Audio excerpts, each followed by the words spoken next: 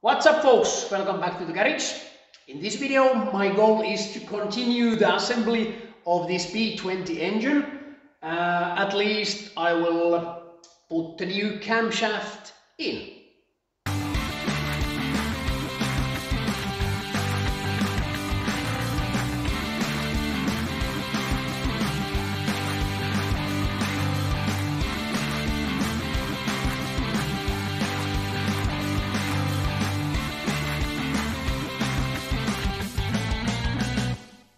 Now I have my engine studio ready. I have my tools. The tool cart is here, here ready, and the block is here, and uh, the parts are here on the table. I also found uh, some instructions from uh, from internet. I just googled engine assembling Volvo B20, so this will help me a lot. The razors are here in, in oil bath. Uh, I have alre already put some uh, assembly lube on the, on, the, on the cam. These I have to put later because the cylinder head is uh, in the machine shop at the moment and I hope I will get it uh, next week. So I hope the next video will be about um, assembling the cylinder head, maybe, but I can't promise it for sure. Uh, I already cleaned uh, the oil pump and my, my plan is now first to put the cam in uh, and then I will assemble the oil pump and maybe the oil pan. Uh, then the, the razors I have I have also already cleaned the block and after that I will put the crankshaft gear and uh, the cam camshaft gear. I'm using the original ones. I know that I should use aluminium or even steel, but at this point I will use the original parts and uh, maybe in the next tuning phase I will use the steel gears but at, at this point I will use these originals. Next I will put my camera on stand and I'll be back after I have uh, finished installing the camshaft.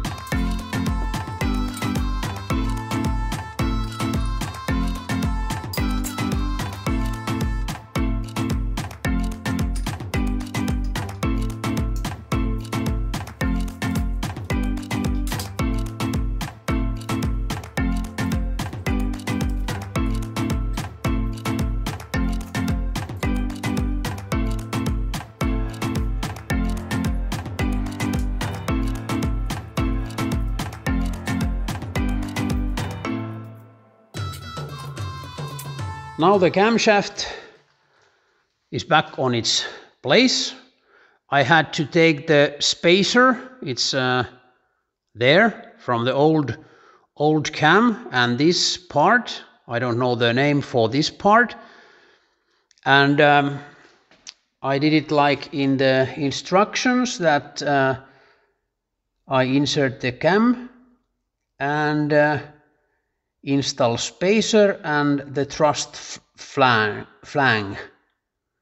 Uh, reusing the old flang is usually okay, simply to flipping it over as it only wears down on the inside. Assuming, of course, that this hasn't already been done in the past. And uh, I was the first person to rotate this flang, so it should be okay now. Um, I already uh, put this uh, shaft this uh, for the distributor and this end is for the oil pump.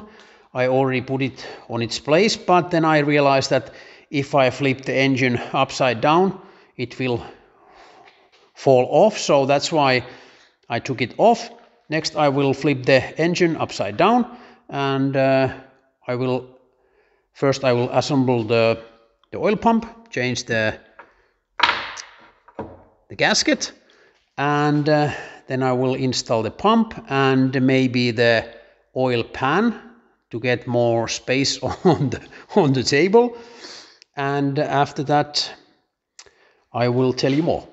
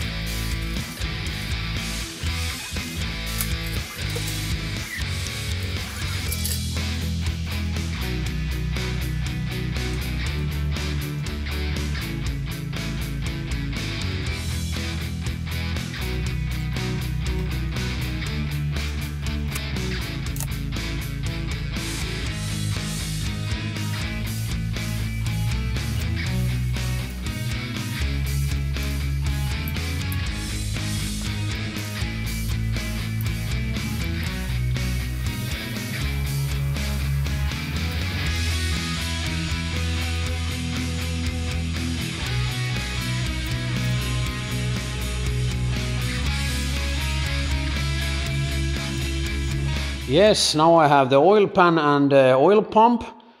Uh, I tightened this just barely because I have to lose it, uh, loosen it again because uh, I'm missing the, the front and back end.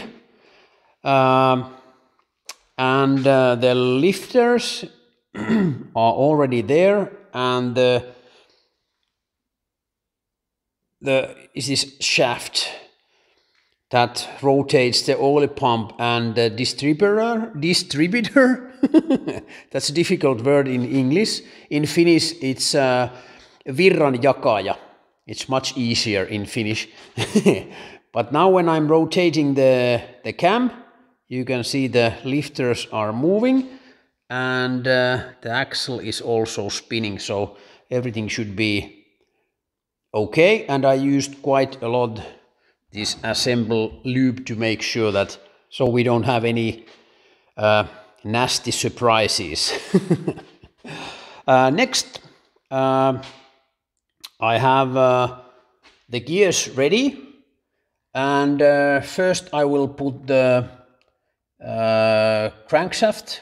First mount the crank gear, heat it up a little bit to make it easier to slide it on the crank uh, I have my heat gun ready, so I will heat this up and make sure that the mark is uh, facing outside. And I use a little bit uh, white paint to mark the mark on the, the fiber gear. And uh, I must not forget this. I use the compressed air to make sure the the hole is open, so this should be should work okay but I will save it later. I will put uh, the gears uh, gears first. And um, it says here that um, after the crank uh, gear it's time for the cam gear. Also this gear could be uh, could use some heat but not like the crank gear especially if you use the fiber gear like I am using and uh, it's uh, is easiest is to use a hot air gun. Ta-da! And I just have to make sure that the gears are lined up. Well, next I will start heating the gear and uh, I hope I can fit it easily. I hope. And after that, the cam gear.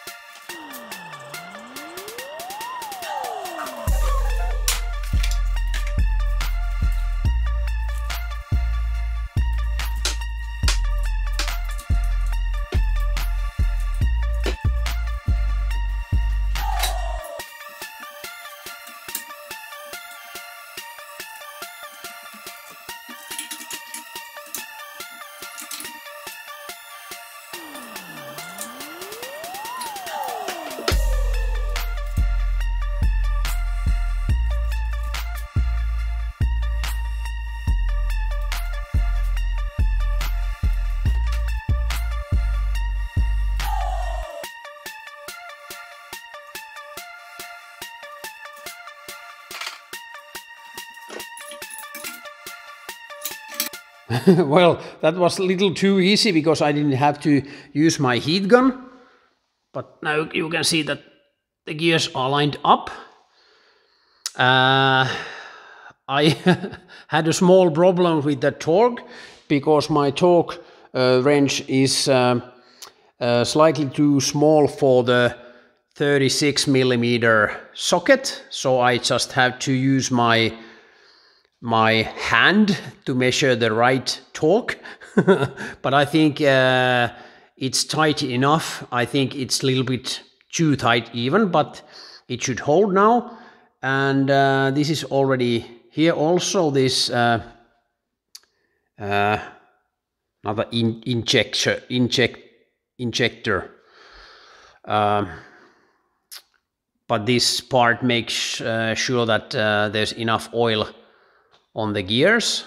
So it's important to put there. I put some Loctite there to make sure but I didn't know that I don't know that if that's wise but I did, did that already. Uh, timing gear should be now ready. Uh, next I will put the breather. I have the new gaskets here already.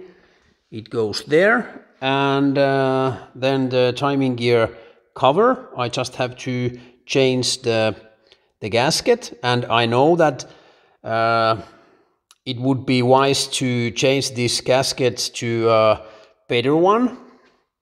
I have the link and I have the uh, instructions how to do it, but I haven't done it.